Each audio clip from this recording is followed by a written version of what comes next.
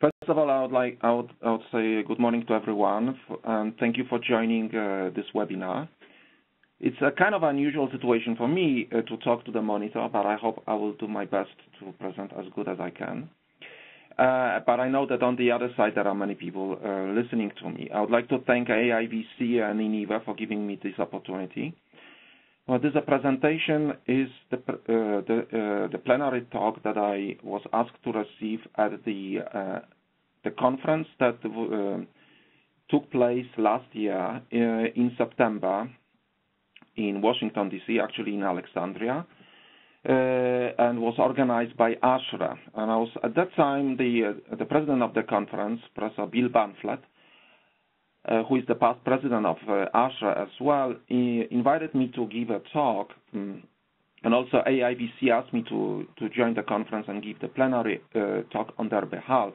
And we discussed what should be the topic of my presentation. And I, we discussed that perhaps the best one would be to start the discussion on the indices that have been used uh, on indoor air quality and how we approach the problem for the future.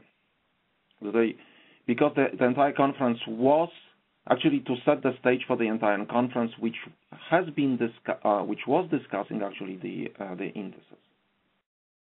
So for those who joined Alexandria, I'm not sure that I will be able to deliver a very exact the same uh, talk, but I will probably the points, uh, not probably, uh, the points that the main important elements of that are here in this presentation as well. So as Maria said, for those who are expecting that I will give you the answer how, what should be the uh, future uh, index of air quality, uh, I'm I don't have this answer. I may have my opinion on what how this uh, how this index should look like, but I really this is not the purpose of this uh, of this talk. The purpose of this talk is to look back and see what indices uh, were used, what are their um, advantages or strengths and weaknesses, and uh, whether any of that can be in the future uh, uh, used as an index. And then um, also uh, discuss how uh, in the future we should set the uh, the create the index of indoor air quality, and whether there is any research that is needed to basically support the creation of such an index. And these are, of course, my opinions, and uh, I would be very happy to then address any questions that may arise. And of course, there will be the discussion will be going on because this topic has gained the momentum in the last month, and I will and I believe that it will get a momentum this year and the years to follow. But this is not a very new topic because uh, that that has been discussed uh, at the, nearly at the beginning of my career in the late 90s. Uh, and in the early uh, 2000, there has been a lot of discussion about uh, indoor air quality indexes, but then those discussions have dissolved somehow, and then we are coming back to this. Before we go into the, the topic, I believe this is a good idea to review what we understand by indoor air quality and also by some of the outcomes or uh, modalities that we are going to address. So I believe there are several definitions of uh, indoor air quality. The one that is uh, proposed by the Environmental Protection Agency and is the same is, as in Wikipedia is that indoor air quality refers to the air quality within and around buildings and structures, especially as it relates to the health and comfort of building occupants. I believe that this is a very, very nice definition of that because it actually gets to the point on how we should create such an index. If we talk about indoor air quality index, we should be thinking about the air quality in the building and within the building and outside the building. It, and this is captured in that uh, uh, in that definition. Also, this definition is captured the purpose of the index, which is capturing this the purpose of the index, which is talking about the health and comfort of building uh, occupants. So it's actually giving a direction It's we not only that we are going to talk about the some sort of a measure of air quality, but measure that is important for the users of the buildings or the building occupants. there are other uh, uh, definitions as well. One that is probably here interesting uh, that we can go in uh, and look at it is the last last bullet point that was is proposed by ASHRAE and is in the ASHRAE standard 62 ventilation standard, which is the uh, uh, air quality is the air in uh, the air uh, in which there are no known or the higher quality is the air in which there are no known contaminants at harmful concentration and that majority of people exposed do not express dissatisfaction. So this is a, a different uh, way of looking at this. And of course another this definition that is important to start the discussion is to discuss how do we understand health. And all of us at a certain, probably at a certain point of, in our career, defined health as it is defined by WHO is uh, basically not only the absence of disease, but basically it's a state of complete physical, mental, and social well-being. However, it's a very, very broad uh, definition. It does not define the direction. Actually, it's only broadly, holistically approach the issue of health. I would really I would be uh, I would really like to point your direction into the the third bullet point here, which is uh, basically the definition of American Thorac Thoracic Society, which uh, define an adverse health by defining the endpoints, so the biomarker response or decreased uh, quality of life or permanent detectable adverse physiological impact and so on. Here, the uh, health outcome is very well defined and actually also points out into the direction of probably development of the uh, the index. So having that in, uh, in mind, let's have a look at the indices that have been used in the past. So I, the, we have only half an hour, or a little bit more than a half an hour for my talk, so I'm not able to uh, go uh, um, deeply into the each of the indices that have been used, but I I put up the list of five to me the most important ones here, and I will look through them uh, in, um, in, a moment, and I will uh, uh, extend them uh, also a little bit later, discussing some other um, indices that were proposed. So I will start with ventilation rate and then go through carbon dioxide, TVOC, and then uh, hu human response. Uh, accept, as an, defined as an acceptability of air quality or percentage of dissatisfied or occupant complaints. So let's start with the ventilation rate. Um, it can be debated whether the ventilation rate is actually an, uh, an index of air quality. And I agree with many of you, perhaps, that uh, share the same point that it is not an index of air quality. But in the absence of uh, index of air quality, actually ventilation has been used as if it had been the uh, index of air quality. Also because uh, we were not able to define the exposure actually, all the pollutants of concern, uh, and uh, uh, there is a common belief and opinion that ventilation is related to some of the outcomes uh, and modalities. here, the example is for the prevalence of acute health symptoms, Uh, subclinical symptoms, uh, better known as, SBS uh, symptoms. But um, mm, there is also the relation between ventilation and the perception of air quality and the performance. So from that point of view, ventilation has been used as a sort of a, a metric of air quality. I mean, the, there is a belief that higher ventilation is a better air quality and so on. So these are the beliefs of, of a, I call it also a misconceptions related with ventilation because as such ventilation, uh, and I will come back to this, is probably not a very good index of air quality, although it can be used uh, uh, to define uh, air quality. So the, the, the, beliefs are that more ventilation always improves indoor air quality, and uh, I believe that many of us, and many of my students also share this opinion, but it's not always the case. Uh, I give you the case in which the Let's say we go to the Central Europe now, which suffers from smog. So more ventilation will not improve indoor air quality, actually aggravate because we'll bring the pollutants from outdoors. lack of ventilation or low ventilation rate means poor air quality. I believe that this is also a, a common belief that if we have no ventilation, we, we have to have ventilation because otherwise the air quality is poor. But what if we have low emitting materials? I mean, if the exposures are low, do we really need to have high ventilation rates? So this is sort of a, a, a misconception here. Then there, there is belief that if we use ventilation, we'll remove effectively all pollutants in spite of their type.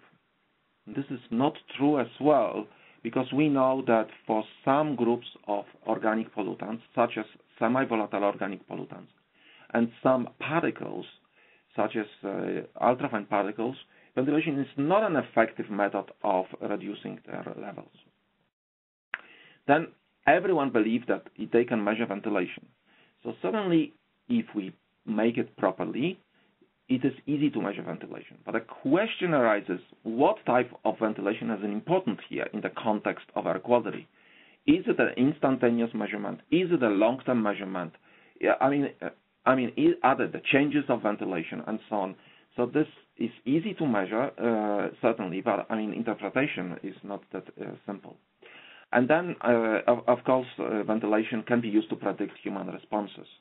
So it is a performance-based metric. To be honest, I come I come back to this. It's probably not always the case because of those problems related with ventilation. And one one example of how ventilation, you know, even in the standard is uh, shown that ventilation is probably not the right index here is uh, the example here where you see this is from the European standard EN 15251 that defines three levels of the pollution loads in buildings.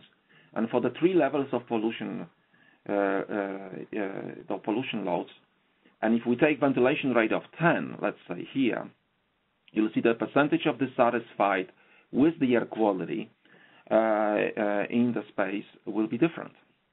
So for the same ventilation rate, we will have two different levels of the air quality. So uh, it cannot be uniformly used because there is another dimension that needs to be tackled here. The reason for that is the ventilation is merely uh, uh, an intermediate index. Uh, it's actually not the causative factor. Uh, and the, the problem uh, is that ventilation is considered as a causative factor for the some of the modalities or uh, outcomes, human outcomes. But this is not. Uh, ventilation is modifying exposures that and exposures through the human uptake. You know, and we really, I mean, that can be another discussion on the, how the human uptake takes place is affecting uh, health and comfort. So ventilation is modifying exposure. It can improve the exposure when the uh, uh pollutants, when it will dilute the pollutants, but it can also bring the pollutants from uh, and increase the exposures actually by bringing the pollutants. So, so this is the first, and as we see from the history, ventilation, there has been a lot of debate on what should be the level of ventilation. So even looking at this historical evidence, we can see that basically that there is no uh, consensus on how much ventilation there should be uh, needed. And uh, even looking at the uh, health periods here at, at, the beginning and towards the end, you can see that there is um, much higher ventilation than for the, uh, I call it comfort period, when the, uh, the different modalities or different outcomes are used to define the ventilation requirements. So although simple, relatively easy to verify, and readily available, as is used today, and although it shows association with air quality and human outcomes, I don't think the ventilation may be considered as a solid and credible metric for predicting air quality between buildings. If we have one building or one space in a building and we just modify ventilation, certainly we can do, but we cannot use the same approach for different buildings, different even rooms within the, within the buildings. So then, to the group of ventilation, I will basically also uh, um, one other uh, metric that also is a part of that is the carbon dioxide. It's the most ubiquitously used and most often frequent used metric today, carbon dioxide. So carbon dioxide is used. Why is used? Because it is a measure of ventilation efficiency uh, in the presence of uh, uh, humans in space. If there are no humans in space, carbon, basically no carbon dioxide, so it, it's difficult to measure it. Also, many regulations and building codes are now beginning to actually regulate rather than provide the ventilation requirements, they actually provide the uh, requirements for carbon dioxide. Carbon dioxide has also been shown recently to be uh, um, um, hazardous pollutant. Uh, uh, affecting performance, but there is a still debate whether this data uh, can is and requires actually further ver verification because there is some conflicting evidence that was published. Nevertheless, CO2 is measured. There are several groups, or maybe I would say all of the groups nearly, that use carbon dioxide. And here we see the relation between the measured carbon dioxide concentration and percentage dissatisfied with air quality. And of course, we know that carbon dioxide here is basically a metric of the uh, ventilation efficiency or the emissions from human uh, from humans. So if we look go back the origin of CO2 is from the work of Pettenkofer in, uh, 19, in the 19th century, who published the book Über der Luftwechsel in Wohngebäuden, where he actually defined the level of carbon dioxide. But when we talk about carbon dioxide, we forget that he created a certain limiting criteria when we can use carbon dioxide. So he said that we, carbon dioxide can be used because this is a it is representing the emanation of or the um, emissions from humans, but all the other emissions should be not allowed in spaces if we use this as a metric. So for other emissions, they should be basically removed from the spaces. This is what he proposed. And is, these are the original results of Pettenkofer. You see the, the lines, red uh, dot, uh, dashed line and blue dashed line uh, he actually made the measurements in several spaces and then uh, asked the occupants to measure to assess the air quality there and then based on their assessments uh, or annoyance basically that is uh, generated he defined 1000 ppm as a maximum allowable level. 700 was defined for uh, bedrooms but this is the evidence based on which we use today a 1000 ppm so the outcome is actually the annoyance.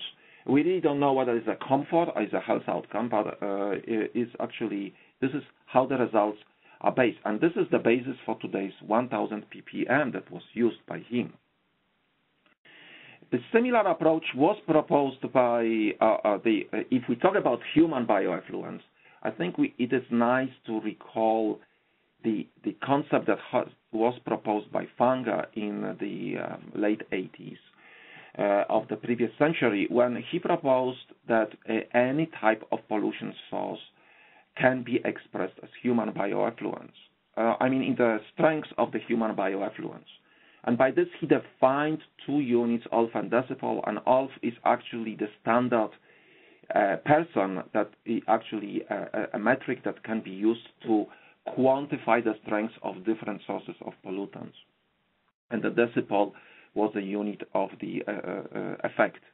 And then um, he, um, so the concept, the idea was brilliant in a sense that basically um, the nature of the ventilation is to basically provide ventilation for humans. So if we express everything with the human strength or the emissions from humans, then it will be easy to define the ventilation requirements.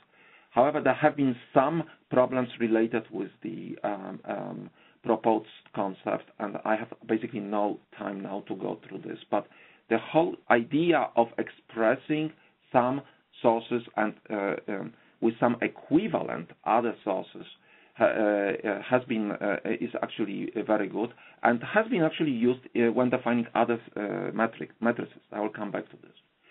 So although CO2 is used ubiquitously, we have to realize that mm, it is not a very good indicator of other sources of pollutants other than humans. So these are the recently published study by the group uh, in France.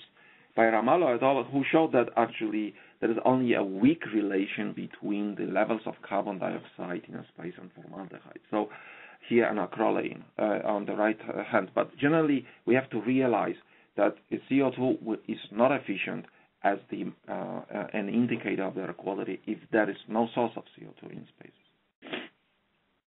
So for the uh, uh, intermediate conclusion for the CO2, I mean, uh, we really don't know that there are several problems related to the measurements of CO2, and then uh, because it's highly variable uh, and uh, there are time effects, and often in the measurements, steady state is assumed, and but it's nearly never reached. sometimes the peak is used. So I, it's very interpretation of the measurement is uh, uh, very different.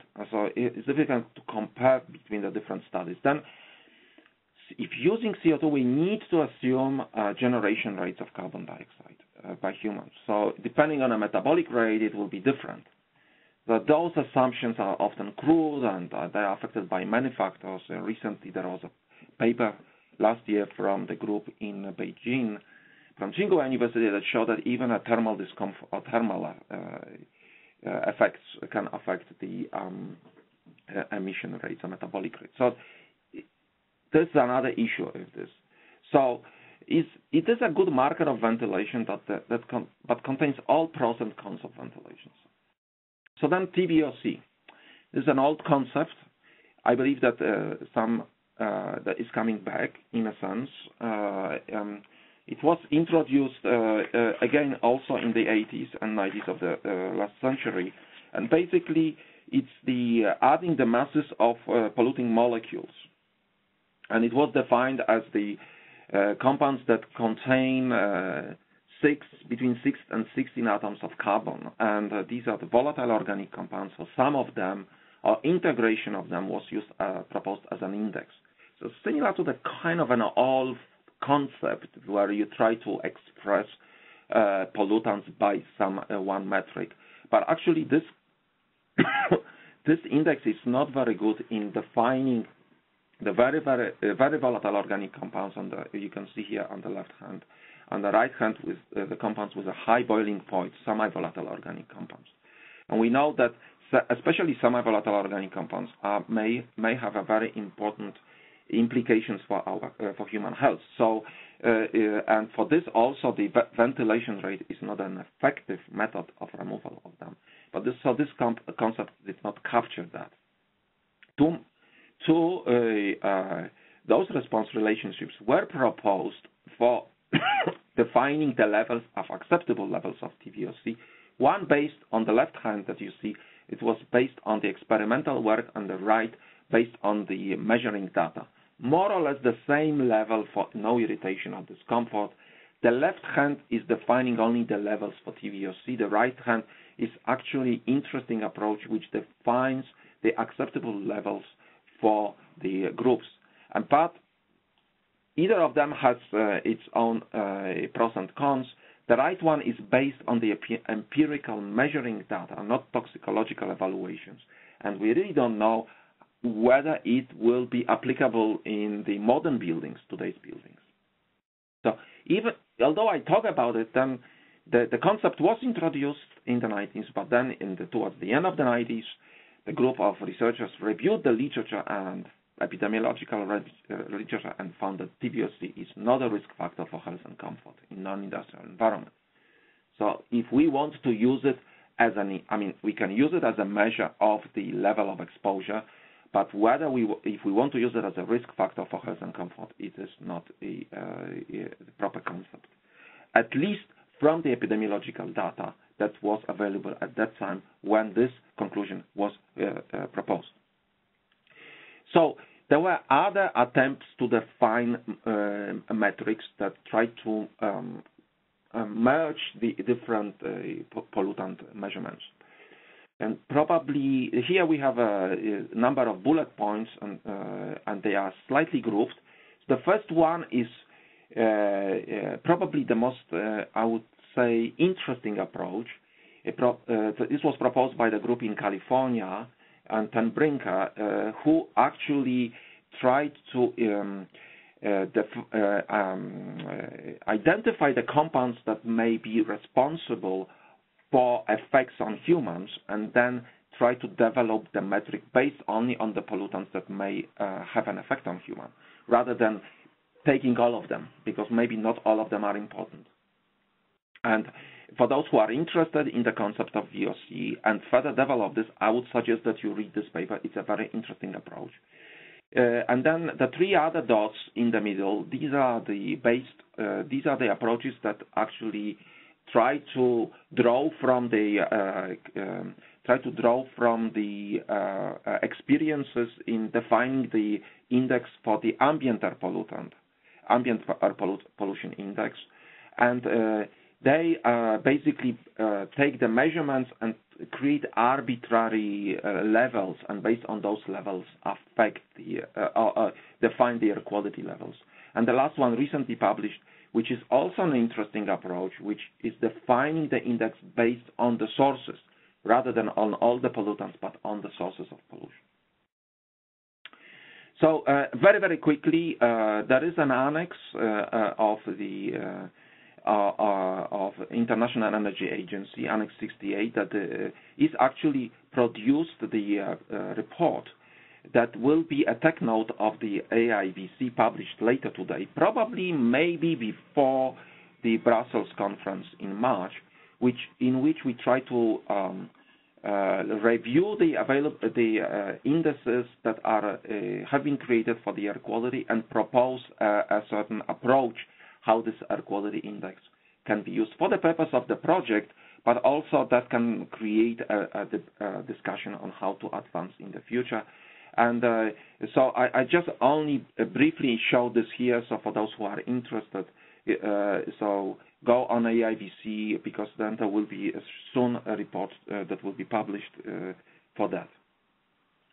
Uh, often air quality index uh, has also been defined uh, in relation to the uh, odor or irritation threshold limits. So we have a data for the occupational environment, also the occupational exposure limits, and based on this, there were, there were attempts to compare concentrations of pollutants measured against the levels for the uh, that for the occupational exposure levels or for the threshold limits. There are problems related with that uh, as well.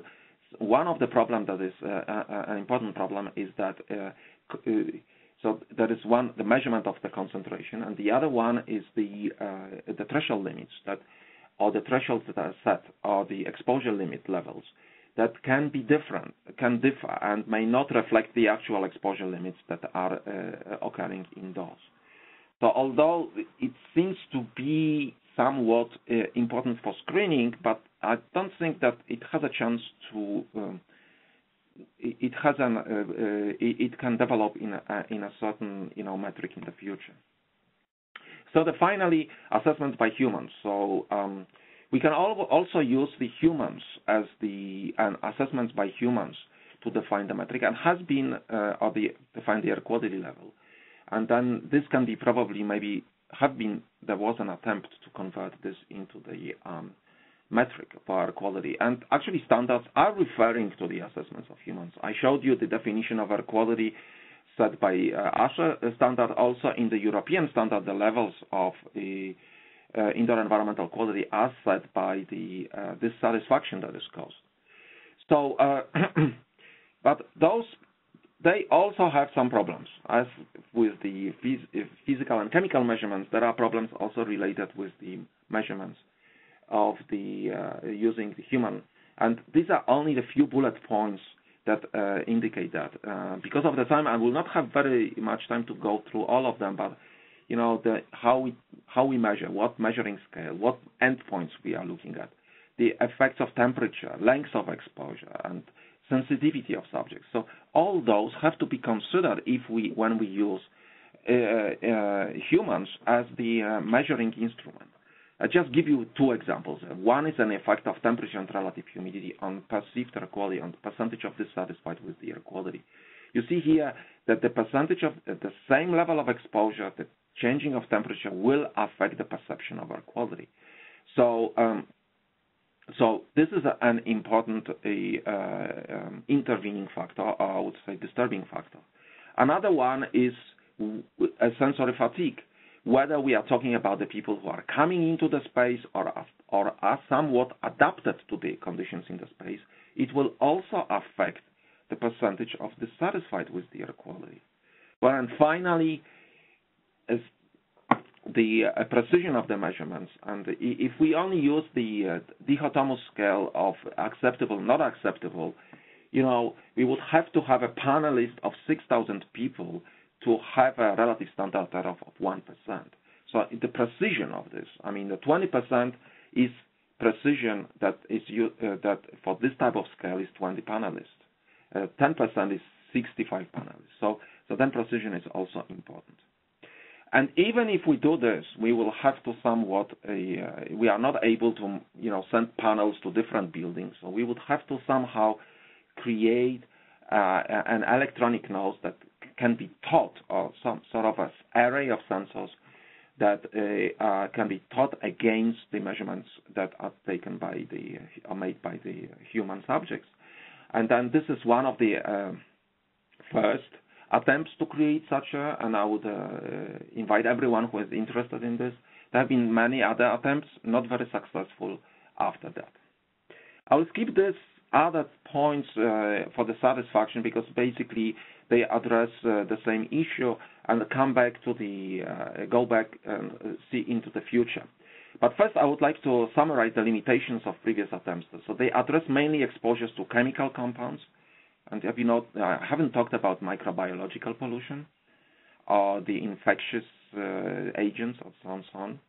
So address usually one modality. Is it a health or comfort? Uh, but we don't know whether you know addressing one modality will protect against another modality and so on.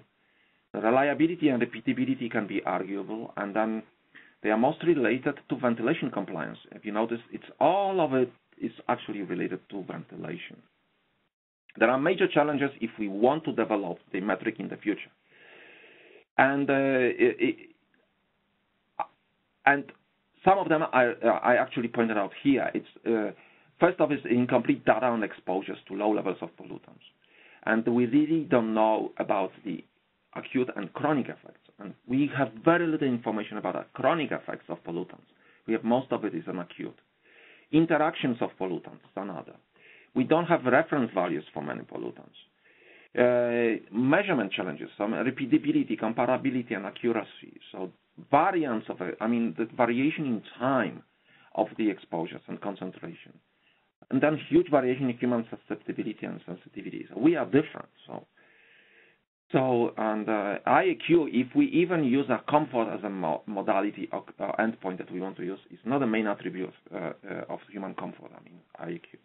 So, taking into account those, you may say, okay, is this really, there is a, a chance. Can it be developed? Is there any hope? Well, I believe there is a hope. We need to basically agree, all of us, that what we need is now is that, that we have some information on some pollutants and one example is the uh, guidelines that are produced by WHO. We know for those pollutants for sure that they create health hazards. So if we start to regulate them, we will make a step forward. Although we know that there will be new pollutants coming on the market all the time, but at least we will we will be able to to deal with those pollutants that we know that uh, that are hazardous for our health. So the question is, is, necess- is it necessary? So if we know that there are problems, should we really invest time?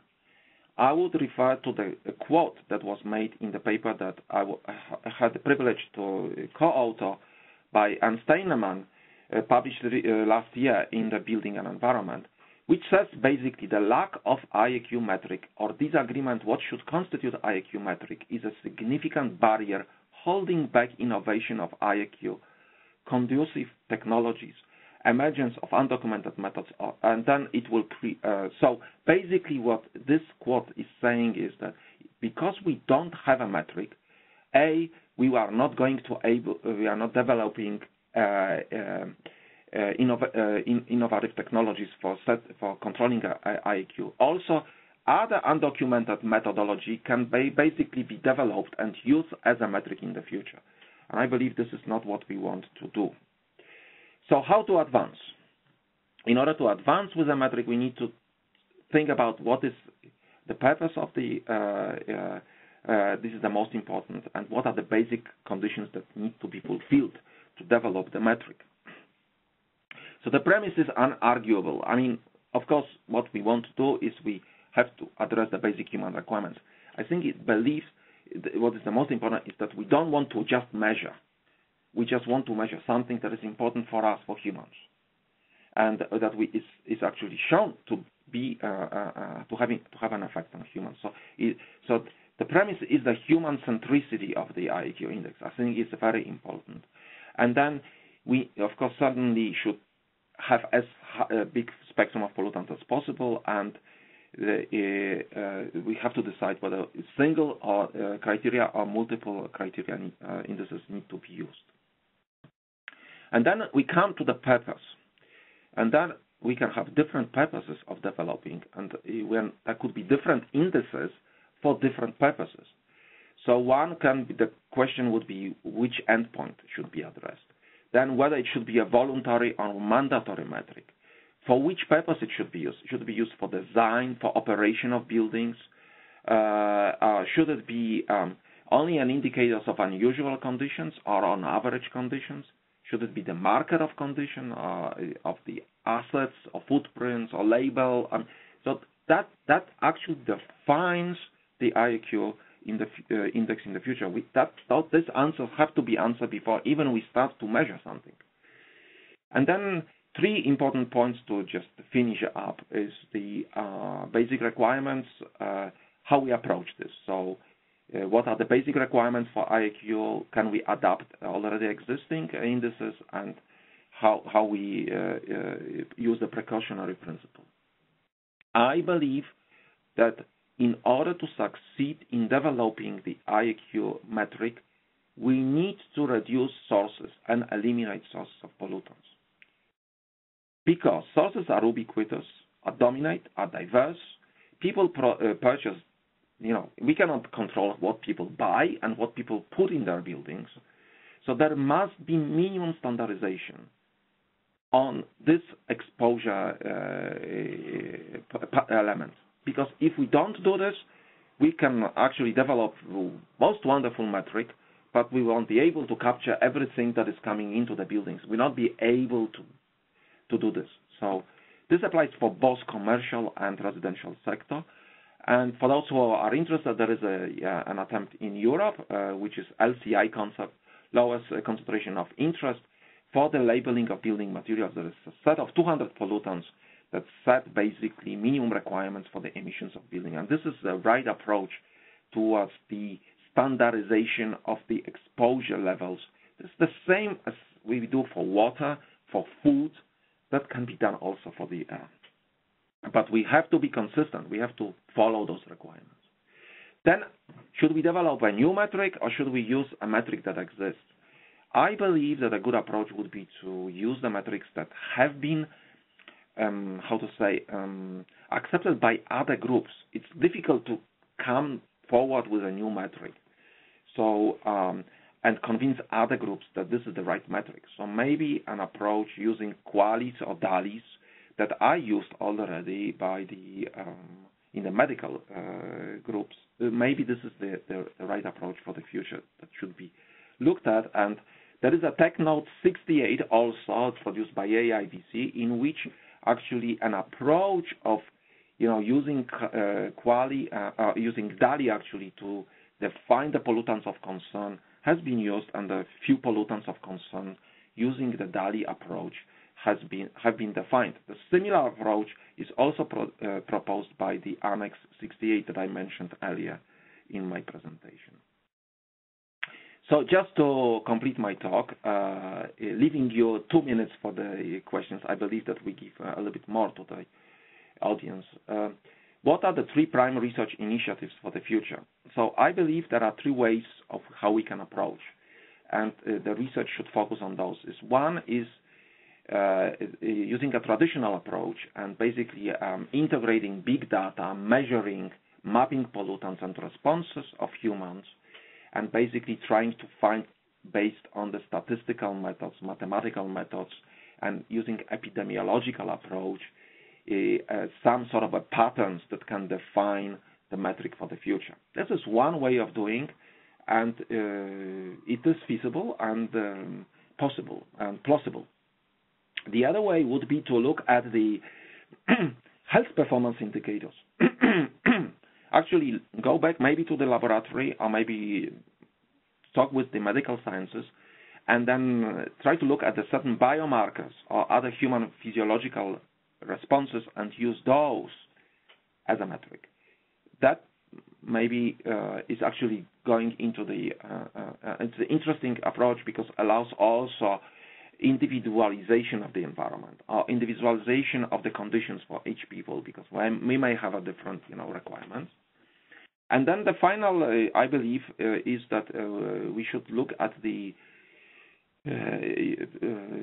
examine the currently proposed indices and see how they how well they um, maybe go back to TVOC, or maybe I don't know. I mean, go to a, a certain pragmatic solutions, some something in between maybe, and find out how they uh, actually perform. So this, I believe, this is the future agenda for that is needed to develop the IAQ metric. I stop here. It was a little bit more than half an hour, but I hope uh, that uh, you enjoyed my presentation, and I'll be looking forward now to address the questions and comments. If you have further questions or comments, you can always send me an email. My email address is indicated in the bottom of this slide. So um, thank you very much for the uh, your attention.